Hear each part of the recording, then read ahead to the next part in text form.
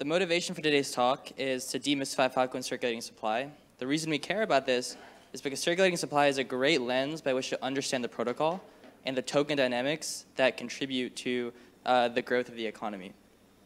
This is also means that you know, understanding circulating supply is key to understanding governance decisions to help, to help inform better decisions uh, when kind of, as ZX mentioned, we analyze various improvement proposals, et cetera. Part of what we consider is how would this impact the underlying dynamics of growing this economy or circulating supply. Uh, quick disclaimer. Uh, any and all models discussed are based on uh, simple, simplified assumptions. You should do your own research. Uh, the Filecoin spec, which I've linked in the footnotes, uh, contains greater information uh, regarding how we kind of construct these models. And on a more positive note, big thanks to the Starboard team. We have some of those members here today. Many of the uh, kind of graphs and models are, um, originate from, from these phenomenal folks. Uh, feel free to talk to them as well um, about you know, some of their research and how they contribute to the Crypto Econ Lab network. Okay, great. So the first uh, part that kind of is the underlying force behind circulating supply is how was Filecoin originally allocated. So a maximum of 2 billion Filecoin will ever be created, but the big caveat here is that it is highly unlikely to reach this point even in the next 20 years.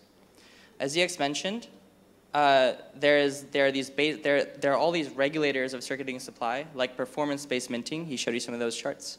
Uh, some tokens are held in reserve. There are uh, kind of token dynamics like burning and locking which all act to provide various regulatory kind of functions to circulating supply. The biggest takeaway is that unmined, unvested, locked, and burnt funds are not part of circulating supply. And in fact, these kind of tokens characterize most of uh, you know the like uh, most of the tokens today on the network.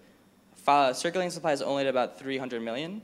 Uh, so this 2 billion number is kind of just like this asymptotic bound uh, that we probably won't reach. Um, the pie chart on the right just kind of shows this original allocation.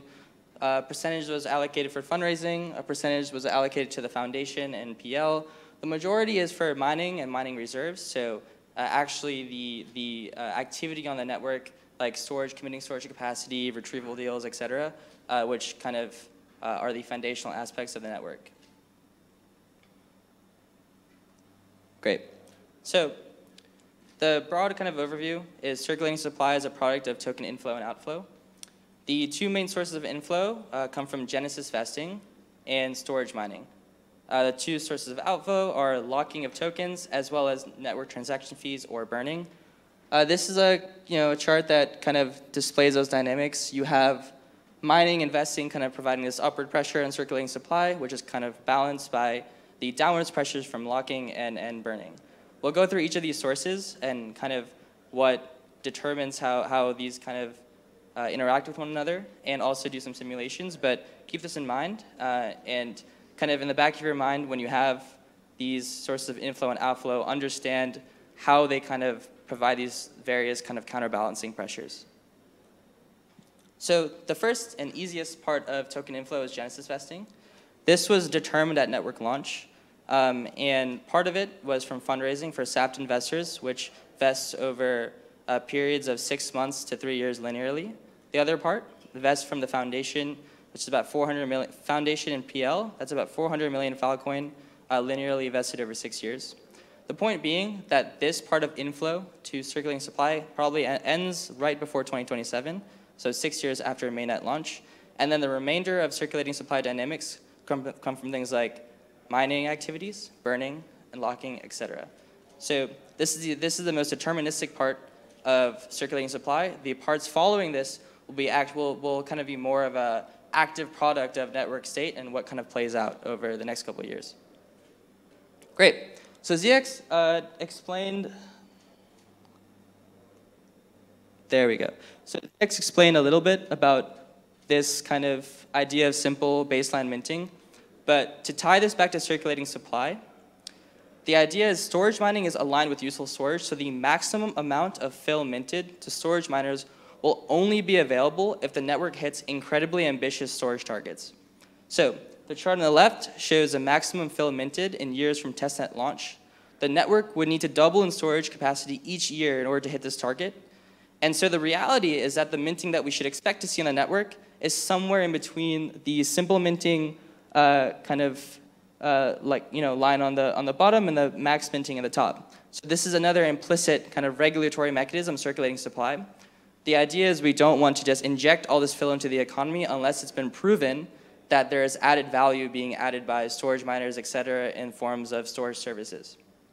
Uh, the chart on the right is kind of that idea that in the beginning of the network, a lot of network subsidies will come in the form of storage mining, like block rewards. As the network matures, then storage deals will continue will, will be the most kind of uh, prevalent force of, of miner uh, revenue, and, and the block rewards uh, will, will diminish. So that kind of injection of cir circulating supply from block rewards will, will go down. Great. So ZX showed you one, one view. Another easy view to see this in practice is total mine file since whoa, the total mine file since network launch.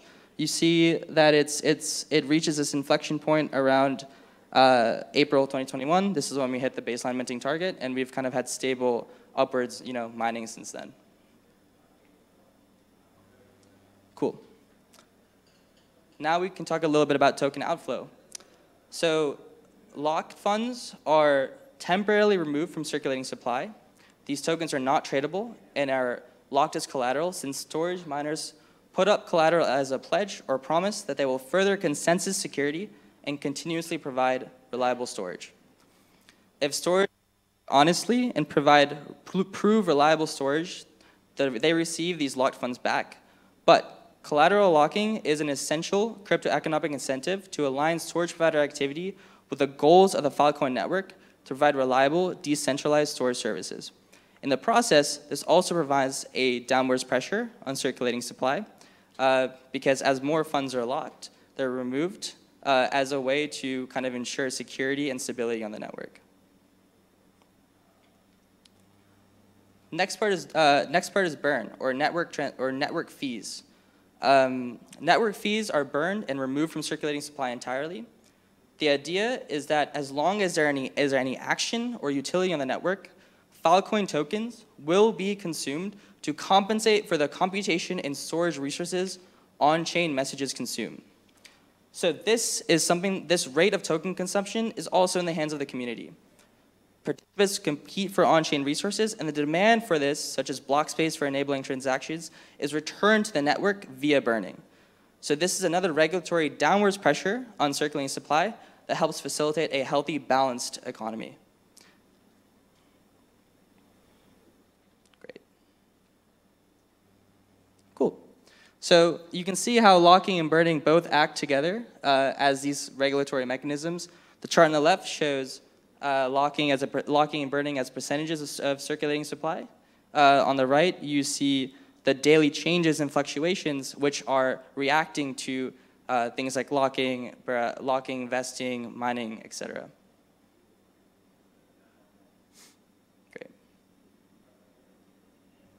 So we want to put it all together. I showed you this chart in the beginning, but now we can see each, in, each individual component and how they interact with one another to get to this final you know, circulating supply number. Um, currently, vesting uh, and my, uh, vesting is a huge portion of inflow. Uh, we discussed that this would kind of stop the, over the course of the next four years um, as the linear vesting schedules cease. Mining is also uh, a, a, large part due to the fact that we are at our maximum baseline minting targets. Um, burning are providing that downwards pressure. Just a quick caveat, if you're looking at CoinMarketCap to look at circulating supply, there might be a small difference because CoinMarketCap doesn't include uh, Filecoin in the wallets of founders and that are, that are dispersed to, the, to Phil and PL. The point being, though, is that the underlying dynamics for CMC's definition and the protocol definition are the same. They're subject to mining and locking and burning, which are all the fundamental core principles that determine the long-term um, that determine the long, the, you know, the most important forms of token dynamics that underlie circulating supply. Cool. So just some simula simulations. The disclaimer still holds true. These are samples. These are just meant to give you an idea of how all these factors play in with one another. Um, if we have um, network projections of growth, uh, we can see all those activities play out. This orange chart here is vesting. You know, you see that you know stop at 2027. So we have this increase in circulating supply from minting uh, activities, investing, and then that kind of tapers off and decreases as the network should hopefully have been mature and most of revenue for miners, et cetera, will come from storage deals, et cetera. If we change uh, this slightly and, and, and change the growth targets, that changes this, this trajectory. Uh, you know, if the, if the network grows more rapidly, then this kind of process is accelerated. More FIL is locked at a higher rate. Um, and there's, uh, you know, you, you see, but you see the same general activity play out. Uh, there's another circumstance. One second. Great. One more circumstance is if, what if uh, there's a lot of demand for block space? What if burning increases? Then you see uh, uh, kind of burning will apply this downwards pressure on circulating supply continuously. But the idea is thematically very much the same. Uh, you, we have this steady increase in circulating supply from vesting, uh, mining activities, et cetera, but those both taper off, and then the network will reach this equilibrium where FIL's value is tied to the utility that it provides on the network. Um, so thank you guys. This right here, if you're just curious and want to see like the presentation, uh, I have links to all these observables that are created by the Starboard team. You can play with these simulations yourself. Uh, again, these are these assumptions were uh, were kind of samples. Uh, do your own research, make your own assumptions. Uh, but uh, they hopefully this gives you a better idea of how these dynamics underlying circulating supply kind of interact with one another